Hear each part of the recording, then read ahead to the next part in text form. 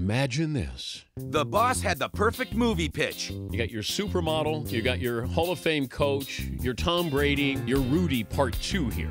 And one Danette had his eye on the lead role. I identify a little bit um, with being the underdog. Today, Bill O'Brien looks ahead to his first season as Texans head coach. We have a lot in common. Um, obvious good looks. I wouldn't go that far. We can both pull off Ugg boots. We both have supermodel wives. Hmm, on second thought, that just might work. We're sort of the same guy.